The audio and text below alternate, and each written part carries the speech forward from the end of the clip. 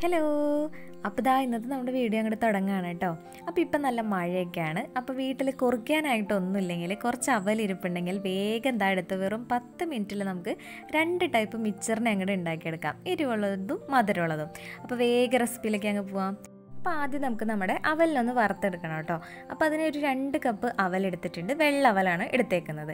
ഇനിയിപ്പോൾ വെള്ള അവലല്ല നമ്മുടെ എടുത്തിരിക്കുന്നത്. മറ്റു ചുമന്ന അവലാണെന്നുണ്ടെങ്കിൽ അതെടുത്ത് ഒരു പ്രശ്നമില്ല. ടേസ്റ്റിനൊന്നും യാതൊരു വക വ്യത്യാസം വരാൻ പോകുന്നില്ല.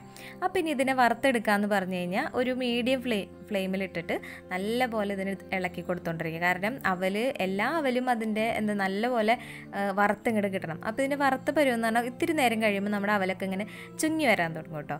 അതായത് നല്ല നിവർന്ന് കിടന്ന മരമൊക്കെ ചെറുതായിട്ടൊന്ന് ചുങ്ങാൻ തുടങ്ങും. അതും കഴിഞ്ഞ് കുറച്ച് ടൈം കഴിഞ്ഞ് കഴിയുമ്പോൾ നമുക്കിത് അവൽ റെഡി ആയോ എന്നറിയാൻ വേണ്ടി അതിൽ നിന്ന് കുറച്ച് അങ്ങ് എടുക്കുക അധികം വലിയ ചൂടൊന്നും ഉണ്ടാവില്ല കേട്ടോ. ഒന്ന് ഊതിയിട്ടൊക്കെ ഒന്ന് എടുത്താൽ മതി. എടുത്തിട്ട് ഇതാ ഇങ്ങനെ ഒന്ന് കയ്യിലെടുത്തിട്ട് ഒന്ന് പൊടിച്ച് നോക്കാം. അപ്പോൾ സംഭവം നല്ലപോലെ അങ്ങ് പൊടിയുന്നുണ്ടെങ്കിൽ നമ്മുടെ അവൽ റെഡി ആയിട്ടുണ്ട്. അപ്പോൾ ഇത് റെഡി ആയിട്ട് നമുക്ക് മാറ്റി വയ്ക്കാം ഇനി അതിലേക്ക് കുറച്ച് നമ്മുടെ സൺഫ്ലവർ ഓയിൽ ഒഴിച്ചു കൊടുക്കാം. വെളിച്ചെണ്ണ അല്ല കേട്ടോ.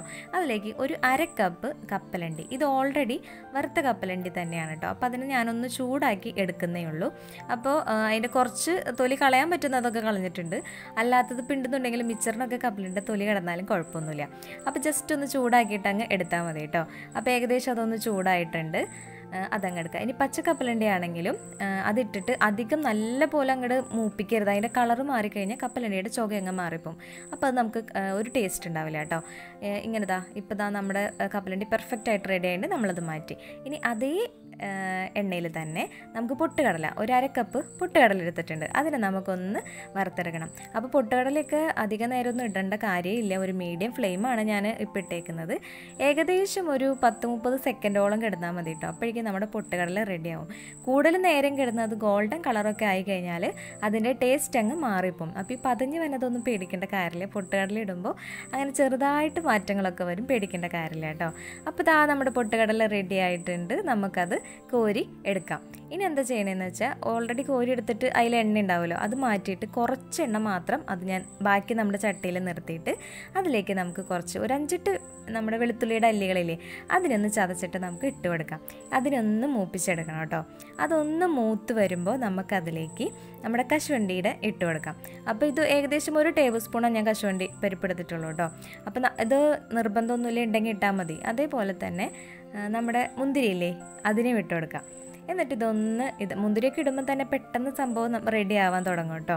ഇനി നല്ലപോലെ ലോ ഫ്ലെയിമിലിട്ടിട്ട് നല്ലപോലെ ഒന്ന് ഇളക്കി കൊടുക്കുക. ഇനി ഇതിലേക്ക് നമുക്ക് നല്ല മെയിൻ ഇൻഗ്രീഡിയന്റ് ആയ നമ്മുടെ വേപ്പില. മെയിൻ ഇൻഗ്രീഡിയന്റ് എന്ന് പറഞ്ഞാൽ ആ വേപ്പിലയുടെ ആ ഒരു ടേസ്റ്റ് ഉണ്ടല്ലോ. അതാണ് നമ്മുടെ മിച്ചറിനെ വേറെ ലെവലിലേക്ക് അങ്ങ് കൊണ്ടുപോകും വേപ്പിലയുടെയും വെളുത്തുള്ളിയുടെയും ഒക്കെ രുചി. അപ്പോൾ ഇതായിരുന്നു അതൊന്ന് മൂത്ത് വരട്ടെ. അതൊന്ന് മൂത്ത് വരുമ്പോൾ ഇനി നമുക്ക് ചെയ്യാനുള്ളതെന്ന് വെച്ചാൽ ഇതിലേക്ക് ആവശ്യമായ ഉപ്പ് ചേർത്ത് കൊടുക്കണം. അപ്പോൾ നമ്മൾ കപ്പലണ്ടിയിലും ഉപ്പിടാത്ത കപ്പലണ്ടി ആണോ എന്നൊക്കെ നമുക്ക് നോക്കണം കേട്ടോ. എന്നിട്ട് വേണം ചേർക്കണേ. കാരണം ഉപ്പ് കൂടിയ മൊത്തത്തിൽ പണി പാളിപ്പോവും അപ്പോൾ ഇതാ ഉപ്പ് നമ്മൾ ആവശ്യത്തിന് അങ്ങ് ചേർത്ത് കൊടുത്തിട്ടുണ്ട്. ഇനി അതൊന്ന് നല്ലപോലെ ഒന്ന് ഇളക്കി കൊടുക്കുക അപ്പോൾ ഇളക്കി കൊടുത്തോണ്ടിരിക്കുക. കാരണം എന്താണെന്ന് വെച്ചാൽ നമ്മുടെ കശുവണ്ടിപ്പരിപ്പ് മുന്തിരി ഒന്നും അടിപ്പിടിക്കാൻ പാടില്ല. അതുകൊണ്ടാണ് കേട്ടോ. ഇനി അതിലേക്ക് നമുക്ക് അതിന്റെ കളറിന് വേണ്ടി നമുക്ക് ലേശം മഞ്ഞൾപ്പൊടി ചേർത്ത് കൊടുക്കാം. ഈ മഞ്ഞൾപ്പൊടി ചേർത്ത് കഴിയുമ്പോൾ തന്നെ ഫ്ലെയിം ഓഫ് ചെയ്യുക കേട്ടോ. അത് മറക്കരുത്. കാരണം എന്താണെന്ന് വെച്ചാൽ മഞ്ഞൾപ്പൊടി കരിഞ്ഞു കഴിഞ്ഞ് കഴിഞ്ഞാൽ എന്താ പറയുക ടേസ്റ്റ് അങ്ങ് മാറിപ്പോവും. ഒരു കനപ്പും ഒക്കെ വരും. അപ്പോൾ എന്താണെന്ന് വെച്ചാൽ അപ്പം തന്നെ അതായത് ആ ഒരു ചട്ടിയുടെ ചൂടിൽ തന്നെ ഇരുന്ന് നമ്മുടെ ആ മഞ്ഞപ്പൊടിയുടെ ആ പച്ചപ്പിന്റെ ആ ഒരു ചുകയൊക്കെ പോയിക്കോളൂ കേട്ടോ. അപ്പോൾ ഇതാ ഇത്രയും സംഭവങ്ങളാണ് നമുക്ക് അടുപ്പത്ത് ചെയ്യാനുള്ളത്. അപ്പോൾ ഇതാ ഇത്രയും പണികൾ നമ്മുടെ കഴിഞ്ഞു കേട്ടോ. ഇനി ഇതായി നമ്മുടെ വറുത്ത് വെച്ചേക്കുന്ന അവലും കപ്പലണ്ടിയും പൊട്ടുകടലയും ഞാനൊരു വേറൊരു വലിയ പാത്രത്തിലേക്ക് നമുക്ക് മിക്സ് ചെയ്യാൻ എളുപ്പത്തിന് വേണ്ടി ഒരു വലിയ പാത്രത്തിലേക്ക് തട്ടി കൊടുക്കാൻ പോവാണ് കേട്ടോ. അപ്പോൾ ദാവന്മാരെയൊക്കെ ഞാൻ തട്ടി കൊടുത്തിട്ടുണ്ട് ഇനി നമ്മൾ ദാ വറുത്ത് വെച്ചേക്കുന്നില്ലേ നമ്മുടെ വെളുത്തുള്ളിയും കറിവേപ്പിലയും അതേപോലെ തന്നെ ആ സംഭവങ്ങളുണ്ടല്ലോ അതും കൂടി ഇട്ടിട്ട് എല്ലാം കൂടി ഒന്ന് നല്ലപോലെ മിക്സ് ചെയ്ത് കൊടുക്കുക. എന്താണെന്ന് വെച്ച് കഴിഞ്ഞാൽ എല്ലാം അവിടത്തേക്കും പിടിക്കണം. കാരണം നമ്മൾ ആ ഒരു ഇതിനകത്താണ് നമ്മൾ ഉപ്പിട്ടേക്കുന്നത് അപ്പോൾ നമ്മുടെ അവലിലേക്കും എല്ലാം അവിടത്തേക്കും പിടിക്കത്തക്ക രീതിയിൽ നല്ലപോലെ മിക്സ് ചെയ്ത് ഒന്ന് യോജിപ്പിച്ച് അങ്ങ് കൊടുക്കാം കേട്ടോ. അപ്പോൾ ഇപ്പം തന്നെ നല്ല മണവും കാര്യങ്ങളൊക്കെ വന്നിട്ടുണ്ട്.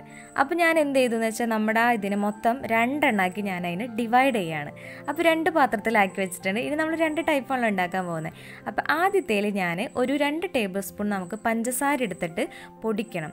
പൊടിച്ചിട്ട് അത് നമ്മുടെ മിക്സറിൽ ചേർത്ത് കൊടുക്കുക അപ്പോൾ എന്തായി? നമ്മുടെ മധുരമുള്ള മിക്സർ റെഡി ആയിട്ടുണ്ട് കേട്ടോ. അപ്പോൾ അത് അവിടെ ഇരുന്നോട്ടെ. അപ്പോൾ മധുരം നോക്കിയിട്ട് ആവശ്യത്തിന് നിങ്ങൾ അങ്ങോട്ട് ചേർത്ത് കൊടുക്കുക ഇനി നമുക്ക് എന്താണ് എരിവുള്ളത്? അപ്പോൾ ഇതാ അതിലേക്ക് ഒരു അര ടേബിൾ സ്പൂൺ നമ്മുടെ മുളക് പൊടിയും എരിവിനനുസരിച്ച് കൂട്ടോ കുറയ്ക്കോ ചെയ്യാം കേട്ടോ. അതേപോലെ തന്നെ ഒരു പിഞ്ചോളം നമ്മുടെ കായല്ലേ കായം പൊടിച്ചതും കൂടിയാണ് ചേർത്ത് കൊടുക്കുന്നത്. അപ്പോൾ ദാ ഇവന്മാരെല്ലാം കൂടി മിക്സ് ചെയ്ത് കഴിഞ്ഞ് കഴിഞ്ഞാൽ ദാ ആ മിക്സറും നമ്മുടെ റെഡി ആയിട്ടുണ്ട്. അപ്പോൾ ദാ ഞൊടിയിടയിലാണ് നമ്മൾ രണ്ട് മിക്സറും റെഡിയാക്കി എടുത്തേക്കുന്നത്. മധുരമുള്ളതും എരിവുള്ളതും. അപ്പോൾ ഓരോരുത്തരുടെ ഇഷ്ടത്തിനനുസരിച്ച് അങ്ങോട്ട് കഴിക്കാം. അപ്പോൾ സംഭവം വളരെ എളുപ്പമാണ്. അപ്പോൾ എല്ലാവരും ഒന്ന് ട്രൈ ചെയ്ത് നോക്കാം. അപ്പോൾ നമുക്ക് അടുത്ത വീഡിയോയിൽ വീണ്ടും കാണാം. ബായ്